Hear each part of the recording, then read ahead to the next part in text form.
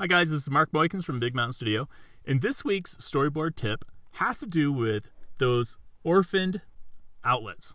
And what I mean by that is you create outlets in your view controller and then you delete them at a later point because you're like, ah, I don't need this outlet. And then all of a sudden your app starts crashing and you have no idea how to track down this missing outlet that you deleted from your view controller, but it still exists on your storyboard. How do you find them? How do you delete them? I'm going to show you some easy ways to do that.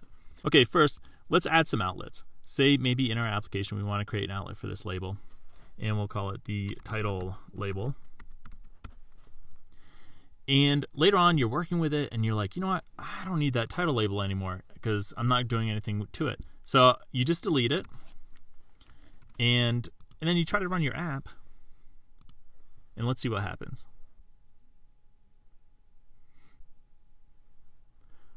Boom, we got an error. We get this sig abort error. and this is sig abort. That basically means a signal abort error. That means that uh, your your application was running and the application is aborting the code. It throws a signal which tells the the application to abort, stop running. So what happened? What is the heck is going on here? What you have to do is you have to come down into your output window here and scroll all the way up to the top. And look at this error. Okay, it says terminating app due to uncaught exception, unknown key exception. A key, think of a key as like, you know, that that name that you give to your control when you create an outlet. You know, that that creates a like a key. And and then it says, okay, reason, you know, storyboard, view controller, or storyboard tips. That's the name of my project. View controller. Okay, good. So we know at least what uh, storyboard it's on because the view controller is the default name for the first scene that you see on the storyboard. And then it says this class is not key is not key value coding compliant for the key title label. Okay, good. So that gives me a tip here. It tells me that my title label outlet is missing. Well, okay, so how do I fix it now? Now that I know what the problem is, how do I actually fix it? All right, let's go back. Simple way, guys. All you have to do is right click on this view controller. This is the simplest way that I could find. Right click on the view controller and look for this warning symbol.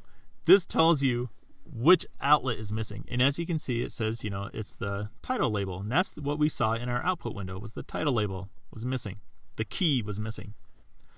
So all you have to do is click on that X and the problem is solved. Okay, good. I hope this helped out you can also do this with actions too. So maybe you know you have a, a share now action. Let's just stick that in there, and we'll say share. This is called share now. It's not an outlet; it's an action. Okay, we connect, and later on we're like, ah, I don't like this. I don't need this anymore, and you totally deleted it from your storyboard. And you still get the same error, but now this time before running it and seeing the error, all you have to do is just right click on this view controller icon up here, look for the yellow triangles, and then delete them. And that's it. Problem solved. Okay, guys, I hope this tip helped. And practice it this week. Create some outlets, delete them, and resolve them from the storyboard. Or delete your outlets, run your project, and look at the error. See if the, you know, get used to looking at that error in the output window and to give you the tip on like, what is it that I have to delete? And then just go to your storyboard. Or you could just blindly go to your storyboard and click on all the view controllers and just delete all the yellow triangles, all the yellow warning symbols that you see. Okay, good. Share this tip with any of your friends who are struggling with storyboards or who hate working with storyboards because I really want to help them out. And give it a thumbs up if you like this video and consider subscribing because every single Monday I'm going to be coming out with more storyboard tips as well as my regular content. All right, thanks guys.